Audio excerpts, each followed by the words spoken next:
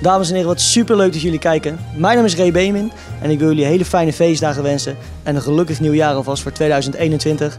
Laten we hopen op een beter jaar als dit jaar en dat we elkaar daar gaan tegenkomen.